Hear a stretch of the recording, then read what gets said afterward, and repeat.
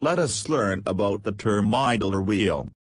An idler wheel drive is a system used to transmit the rotation of the main shaft of a motor to another rotating device, for example the platter of a record reproducing turntable or the crankshaft to camshaft gear train of an automobile.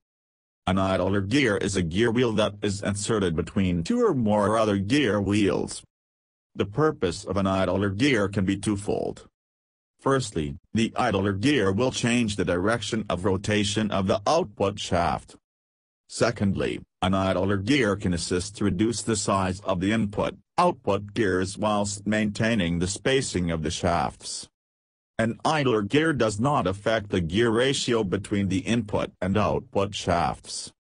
Note that in a sequence of gears chained together, the ratio depends only on the number of the teeth on the first and last gear. The intermediate gears, regardless of their size, do not alter the overall gear ratio of the chain.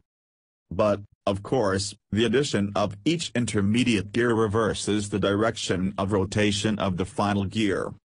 Likewise, the size of an idler wheel in a non-geared friction drive system does not affect the gear ratio between the input and output shafts.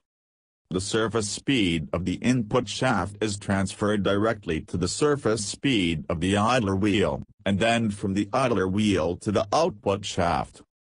A larger or a smaller idler wheel maintains the same surface speed, which equals the surface speed of the input shaft, therefore the output shaft is driven at a constant speed regardless of the size of the idler wheel. Thank you.